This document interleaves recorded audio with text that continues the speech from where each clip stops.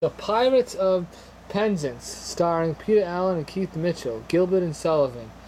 Pioneer artists. Now there was another version of MCA Disco it said on it. I knew that was full of laser discs, so I stayed away from those copies. But they have two of these at the store. You often wonder why someone would have two of the same movie. Maybe it was somebody different.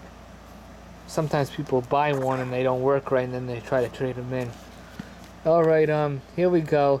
94 minutes long, and it was in exactly the same one as the other one, because I looked at the uh, different chapters on it.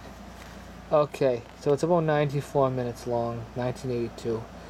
This this this is an acceptable thing. Anyone can watch this. I can't find a rating, so okay. You can tell it's kind of old because of the label.